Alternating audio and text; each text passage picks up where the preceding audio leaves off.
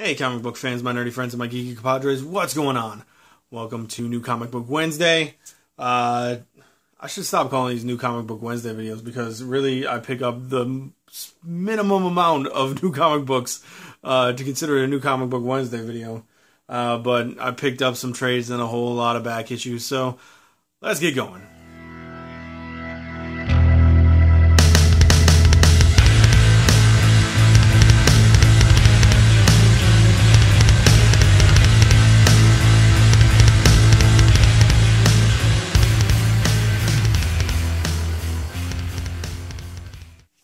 Okay, the one and only new issue I bought today, uh, Jupiter Circle issue three.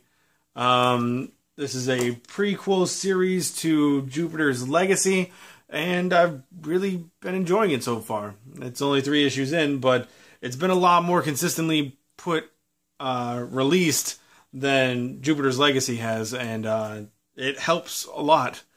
Uh, next, I'll just show you the trades that I picked up. Uh, new trade that came out today. Uh, Criminal, The Sinners. Uh, as you know, I'm picking these up. Uh, in this printing, I had like four of them in the original printing, but um, trying to find the other ones was proving to be difficult. So I uh, saw these were coming out and wanted to get them. So I have them all in the same printing. So uh, yeah, that's number five. I believe there's one or two more. Um, I think they had them all in the back in the other ones. Uh, one more. The Last of the Innocent is the next uh, volume, and that should be out next month. So, really excited to have all those. Uh, other trade I picked up Chew, uh, Volume 8. This is uh, Family Recipes. I think they only have nine volumes out right now, so um, I'll probably pick that up pretty soon and be, I mean, relatively caught up. But I know it's like ending really, really soon. So, um, yeah, glad I have that. Chew's a great, great book, um, in my opinion. Next, I got back issues. Um, most of them are one title and a few extras that I found that interested me. Uh, first, we have The Haunt of Fear. Um, don't know anything about it, but that cover looks awesome. And it looks like an old, uh, just great old horror book, EC. Um, I don't know what Gladstone is, but you can see right there. Right there. EC Comics. Uh, this is number one. So I thought, why not? It looks pretty awesome. Then I found Teenage Mutant Ninja Turtles uh, 43. This is cover B. Um, apparently, I'm collecting turtles backwards because I started at 43, and I mean at 44, um, and I've been looking for other issues, but I can only find them backwards. So anyway, bad, bad, bad story.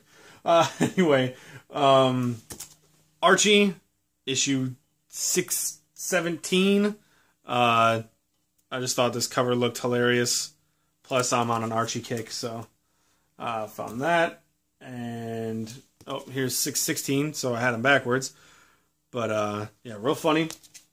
Obama and Palin there. Why not? And then I found these next to uh, the covers look funny. Um, it might be sacrilegious, but you know I can't help it. Uh, that's Chosen. Uh, this is issue one of a three-part mini series. Um, Mark Millar, and this is issue two. I didn't see issue three, but I like the covers so much that I just decided to pick them up anyway. Usually, if I go to Second and Charles and they have a mini series, I won't pick it up unless they have all of them. But um, I thought I'd give it a shot. We have House of Mystery 299. They don't get very many of those, so when I saw it, I picked it up with the quickness. Um, then we have Punisher Warzone issue 34, trying to complete that run. And that's it for the random back issues. The rest are all Swamp Thing books. So, uh, volume two, I think they're all volume two books. Um, this is 68. 72. 75. 76. 77. 79. I'm really hoping that Swamp Thing being Kryptonite. Uh, I'd really, really love that. Um, 80. 82. Love this cover. It looks awesome. 83. 86. 91. 92. Crazy cover there. 93. 94. 95. 96. 97.